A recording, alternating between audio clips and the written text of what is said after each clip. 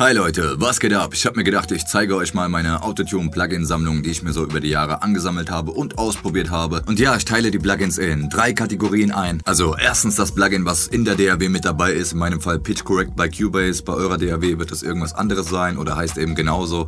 Dann die, die was kosten, dann die, die kostenlos sind. Insgesamt zeige ich euch sieben verschiedene Plugins. Die lassen wir gegeneinander antreten und am Ende werden wir sehen, wer der Gewinner ist. Mein Name ist Dosi von HN64 und Los geht's. Jeder will nur nach vorn, aber sag mir, was bleibt. Wir haben keine Zeit, wofür sind wir geboren? Jeder will nur nach vorn.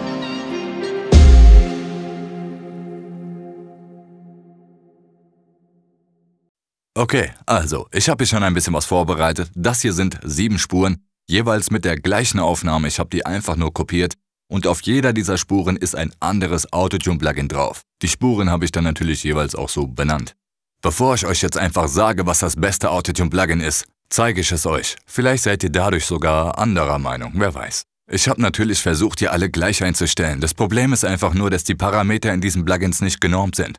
Das heißt also, wenn ich zum Beispiel zwei Autotune-Plugins nehme und die Parameter Speed komplett auf 100% aufdrehe, dann ist es bei dem einen Plugin 100% und bei dem anderen umgerechnet nicht die gleichen 100% wie bei dem anderen Plugin. Hab sie trotzdem einfach alle komplett aufgedreht. Das hier ist das erste Plugin und zwar der Pitch Correct von Cubase Direct. Der ist also mit in der DAW dabei. Ich zeige euch erstmal die ganzen Plugins und dann hören wir uns das Ganze auch an.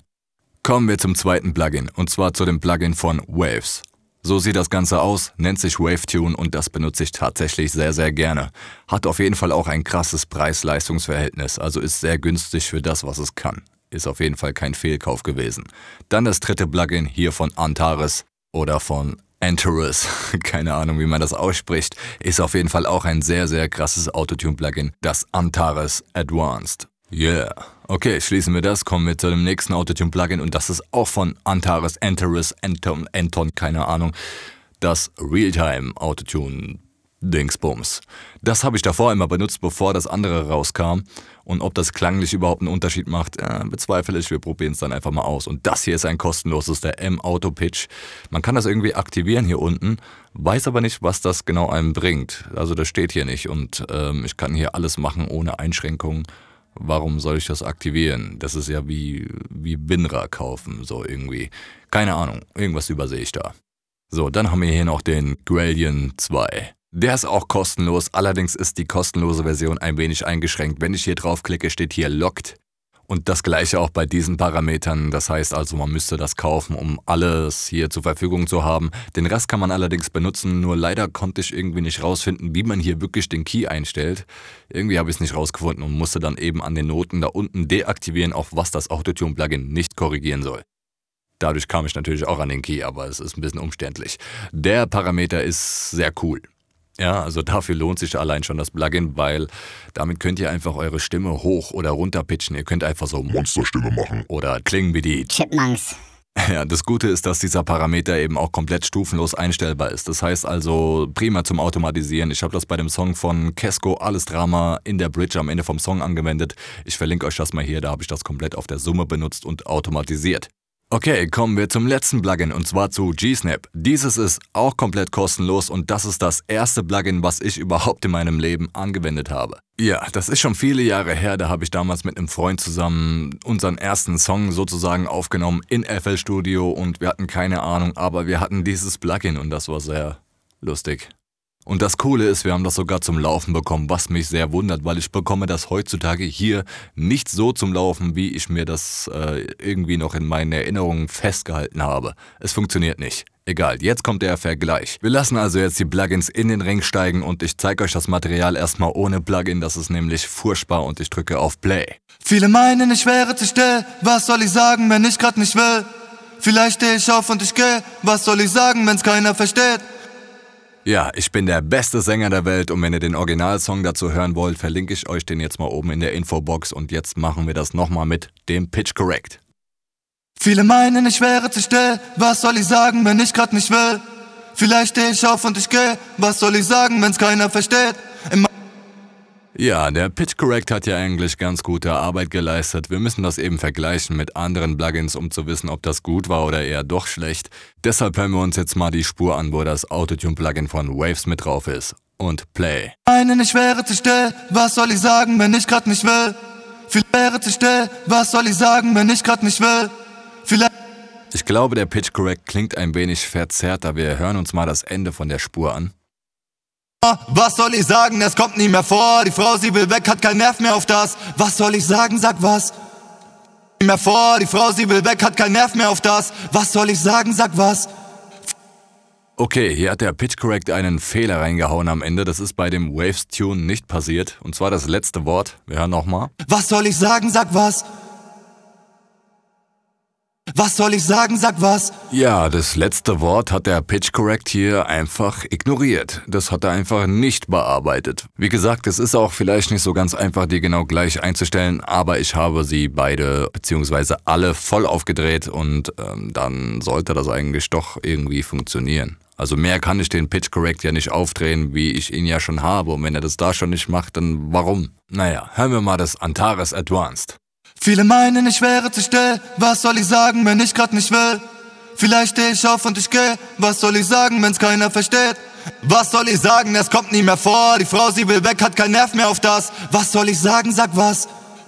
Ja, das klingt auf jeden Fall extrem sauber, da kann ich gar nichts dagegen sagen. Wir müssen das aber vergleichen mit dem Waves, ob das jetzt wirklich besser ist oder nicht. Play. Oh, die Frau, sie will weg, hat keinen Nerv mehr auf das. Was soll ich sagen, sag was es kommt nie mehr vor. Die Frau, sie will weg, hat keinen Nerv mehr auf das. Was soll ich sagen, sag was. Viele, viele meinen, ich wäre zu still. Was soll ich sagen, wenn ich grad nicht will? Viele meinen, ich wäre zu still. Was soll ich sagen, wenn ich grad nicht will? Also die klingen schon ziemlich identisch. Also wenn da wirklich ein Unterschied vorhanden ist, so dann habe ich das Gefühl gehabt, dass das von Waves manchmal so ein bisschen dreckiger klingt. Aber nicht unbedingt. Ich denke mal auch, dass wenn man irgendwie versucht, irgendwas rauszuhören, was vielleicht gar nicht da ist, dass das Gehirn sich auch irgendwas einbildet. Weil man auf Krampf versucht, irgendwas rauszuhören. Aber checken wir mal das andere ab von Antares. Viele meinen, ich wäre zu still. Was soll ich sagen, wenn ich grad nicht will? Viele meinen, ich wäre zu still. Was soll ich sagen, wenn ich grad nicht will? Viele meinen, ich wäre zu still. Was soll ich sagen, wenn ich grad nicht will? Vielleicht den sagen, es kommt nie mehr vor. Die Frau, sie will weg, hat keinen Nerv mehr auf das. Was soll ich sagen, sag was. Sie will weg, hat keinen Nerv mehr auf das. Was soll ich sagen, sag was. Viele also ich bin ehrlich, da habe ich jetzt überhaupt keinen Unterschied rausgehört. Also wer da einen Unterschied raushört, ich glaube, dem schmeckt doch einen der beiden Twix besser. So, keine Ahnung. Ihr könnt mir ja in die Kommentare schreiben, wenn ihr da irgendwas äh, gefunden habt. Was auch immer. Ich denke mal, dass das einfach das identische Plugin ist, nur dass die Benutzeroberfläche neu gemacht wurde und dann heißt es, wow, wir haben ein neues Plugin, kauf das. Ich hab's gekauft. Ja, was soll ich sagen? Ich mag das einfach. So, gerechtfertigt. Ich würde sagen, wir machen jetzt so ein kleines Zwischenfazit und wir kommen jetzt direkt mal zu dem Pitch korrekt, der von Cubase direkt. Und ich muss sagen, der ist gut. Der ist wirklich gut. Ich glaube, der ist nicht ganz dafür ausgelegt, wo viele junge Leute jetzt heute hinwollen, in diese la la la lelele Richtung. Ähm, ich glaube, der ist eher so wirklich für Leute, die singen können und eher so subtilere Bearbeitungen benötigen. Ja, und äh, nicht ganz für dieses Extreme, weil da eben dann doch irgendwelche Verzerrungen entstehen und so weiter. Dann äh, der Wave-Tune, der ist äh, sehr gut, mag ich sehr. Antares genauso, ist glaube ich für mich auf einer Stufe und der Realtime eben auch. Und jetzt würde ich sagen, kommen wir zu den kostenlosen. Jetzt wird's interessant, was können die? Wir starten mit dem M-Auto-Pitch und ich drücke mal auf Play. Viele meinen, ich wäre zu still. Was soll ich sagen, wenn ich grad nicht will? Vielleicht steh ich auf und ich geh. Was soll ich sagen, wenn's keiner versteht? In meinem Kopf ist grad alles und nichts. Was soll ich sagen, hab alles im Griff. Schon wieder die Frage, wie es mir so geht. Was soll ich sagen, schon gut ist okay. Also ich glaube, die Töne hat er richtig korrigiert. Da habe ich jetzt nichts rausgehört. Aber der Sound, was ist passiert? Das klingt ein bisschen wie so eine ganz, ganz schlechte MP3-Datei, die man damals ab und zu so auf YouTube gefunden hat von irgendwelchen alten Songs. Ich weiß jetzt nicht, ob das extra sein soll von dem Plugin-Hersteller oder ob das besser wird, wenn man das aktiviert. Das glaube ich aber nicht, weil was wäre das für eine Werbung für das Plugin? Ja, das kann ich mir nicht vorstellen. Vielleicht kommt das aber auch ganz cool, gerade irgendwie in der Hook oder so, wo mehrere Autotune-Spuren sind und man benutzt zwei davon irgendwie von diesem Plugin auf zwei Spuren und macht die dann links und und rechts und weil es ja so komisch phasy klingt, so, dann gibt es irgendwie vielleicht so einen breiten Effekt oder sowas. Das kann sein, weiß ich nicht, habe ich nicht ausprobiert. Kommen wir zum nächsten Plugin und zwar zum Gralien 2. Wenn man den so richtig ausspricht. Schauen wir mal, was der kann. Und play. Viele meinen, ich wäre zu still. Was soll ich sagen, wenn ich grad nicht will? Vielleicht steh ich auf und ich geh. Was ja, das war irgendwie auch schlimm. Also das war noch schlimmer wie das andere Plugin. Das macht irgendwie das gleiche verwaschene komische Geräusch mit rein, nur in noch schlimmer. Ja, warum? Ich kann mir nicht vorstellen, dass das weggeht, wenn man das kauft. Das, das macht für mich keinen Sinn. Ich weiß nicht, wir hören noch mal rein. Was soll ich sagen, wenn's keiner versteht? In meinem Kopf ist grad alles und nichts. Was soll ich sagen? Nichts. Was soll ich sagen? Hab alles im Griff. Schon wieder die Frage, wie es mir so geht. Was soll ich sagen? Schon gut soll ich sagen? Hab alles im Griff. Schon wieder die Frage. Ja, es klingt einfach billig, aber wenn jemand noch gar kein Autotune-Plugin besitzt und vielleicht überlegt, sich eins zu kaufen und möchte erstmal ausprobieren, ob es ihm überhaupt steht, mit Autotune zu arbeiten und ob er das hinbekommt und ob er es überhaupt mag, dann kann man natürlich erstmal zu diesen Plugins greifen, um ein bisschen auszuprobieren. Dafür reichen sie auf jeden Fall aus. Ja, kommen wir zu G-Snap, dem letzten Plugin.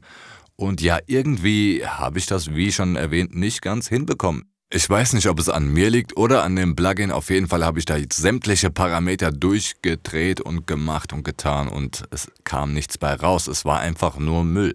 Es war einfach nur Müll.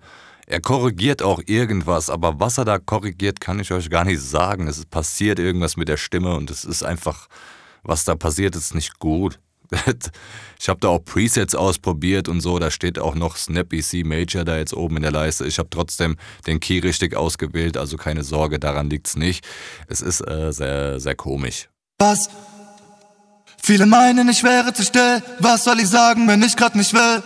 Vielleicht steh ich auf und ich geh. Was soll ich sagen, wenn's keiner versteht? In meinem Kopf ist grad alles und nichts.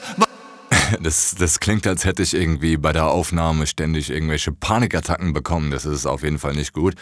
Ähm, wie gesagt, ich weiß nicht, ob es an mir liegt oder an dem Plugin. Wenn das am Plugin liegt, so, dann kann das doch nicht den hier ernst sein. Ich weiß nicht, ich hatte das auf jeden Fall viel, viel cooler in Erinnerung. Auch der Speedregler, nicht wundern, wenn der jetzt hier nur auf 2 steht und ihr denkt, oh, du, du musst den komplett aufdrehen, so, nee, das, das wird dann irgendwie noch schlimmer. Oder beziehungsweise noch weniger.